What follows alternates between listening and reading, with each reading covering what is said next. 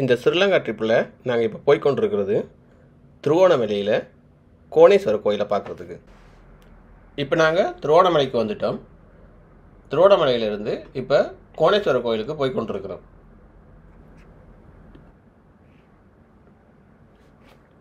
நாங்கள் பார்க்குற இந்த கோட்டை ஆயிரத்தி அறுநூற்றி எழுபத்தி ஆறாம் ஆண்டு ஒல்லாந்தர்களால் கட்டப்பட்ட கோட்டை.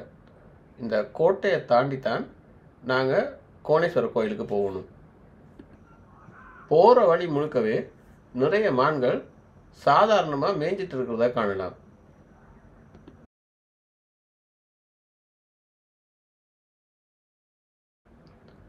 கோயிலுக்கு வந்துட்டோம். இந்த கோயிலுக்கு ஒரு பெரிய வரலாறு இருக்குது. அதை நான் போக போக சொல்கிறேன் இதுதான் ராவணன் வெட்டு. இப்போ நாங்கள் நின்று கொண்டிருக்கிறது ஒரு மலை. அதை சுற்றி அப்படியே கடல் தான் இருக்குது. இந்த கோயில் இந்த மலைக்கு மேலே தான் கட்டப்பட்டிருக்குது.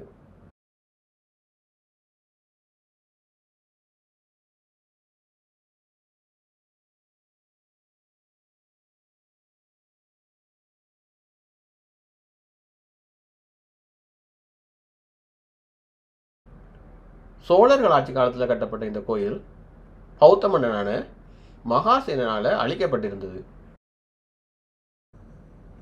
அதுக்கு பிறகு இலங்கைக்கு வந்த வரராமத்தேவன் என்ற சோழ மன்னன் இந்த சிதலமடைந்த கோயிலை புனரமைக்க ஆரம்பித்தான்.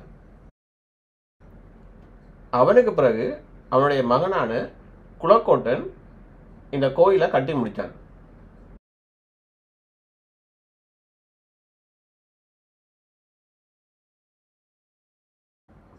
அந்த மெட்ட சேனலில் குலக்கோட்டை மன்னனை பற்றி விரிவாக பார்த்துருக்குறோம். நான் டிஸ்கிரிப்ஷனில் லிங்க் தரேன். விருப்பமானவர்கள் குலக்கோட்டை மன்னனை பற்றி அந்த சேனலில் பார்க்கலாம்.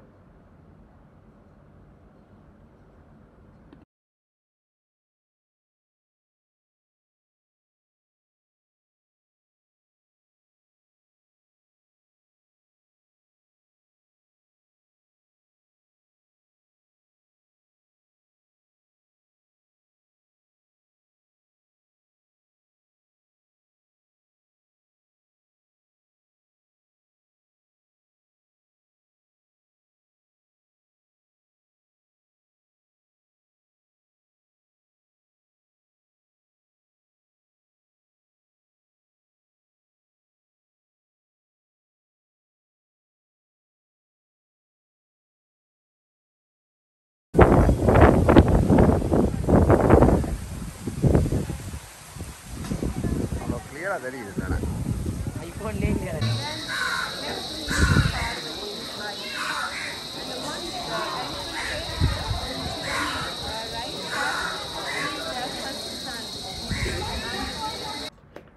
அடுத்ததாக திருவண்ணாமலையில் பார்க்க வேண்டிய இன்னொரு இடமான கன்னியா வெந்நீர் ரூட்டுக்கு வந்திருக்கோம். இந்த வெந்நீர் ரூட்டில் ஏழு கிணறு இருக்குது.